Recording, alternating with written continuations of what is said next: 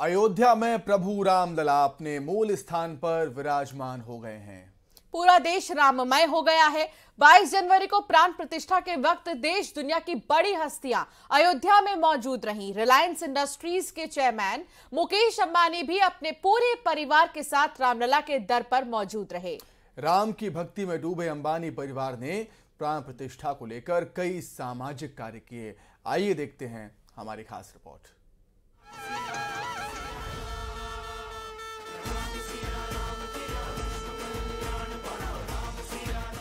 500 वर्षों के इंतज़ार के बाद अयोध्या में प्रभु रामलला भव्य और दिव्य भवन में विराजमान हो गए। 22 जनवरी का दिन सनातन संस्कृति के लिए ऐतिहासिक दिन रहा। इस पल के साक्षी बनने के लिए देश दुनिया की कई बड़ी हस्तियाँ रामलला के दर पर पहुँची थी, जिसमें रिलायंस इंडस्ट्रीज़ के चेयरमैन मुकेश अंबानी भी अपने परिवार समेत इस पल के गवाह बने। अंबानी परिवार ने हाथ जोड़कर भगवान श्री राम का आशीर्वाद लिया।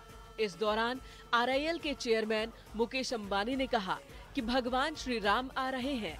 पूरा देश दिवाली मना रहा है। हम सभी जय श्री राम पधार रहे हैं। जनवरी ट्वेंटी सेकेंड राम दिवाली होगी पूरे भारत वर्ष के लिए आगे। प्राण प्रतिष्ठा के महासमारोह में रिलायंस जियो के चेयरमैन आकाश अंबानी, पत्नी श्लोका के साथ राम मंदिर में मौजूद थे। साथ ही छोटे बेटे अनंत अंबानी और उनकी मंगेतर राधिका मर्चेंट भी मौजूद थी। इस मौके पर पति आनंद पिरामल के साथ पहुँची ईशा अंबानी भी बेहद खुश दिखाई दी।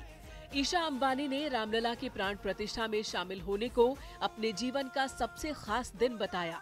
कार्यक्रम के दौरान अंबानी परिवार खासा उत्साहित नज़र आया Today is one of the most sacred days for us and we are just overjoyed to be here.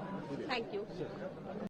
Ramlala के दर्शन के बाद आरआईएल चेयरमैन मुकेश अंबानी ने राम मंदिर तीर्थ ट्रस्ट को दो करोड़ इक्यावन लाख रुपए के दान दिए श्री राम की भक्ति में लीन अंबानी परिवार ने एक दिन पहले से ही मुंबई में अपने निवास एंटीलिया को राममय बना रखा था। पूरी बिल्डिंग राम के रंग में जगमगाती हुई नज़र आई। इतना ही नहीं, अंबानी परिवार की ओर से मुंबई में अन्य सेवा का भी आयोजन किया गया था, जिसमें बड़ी संख्या में लोगों ने प्रसाद ग्रहण किया।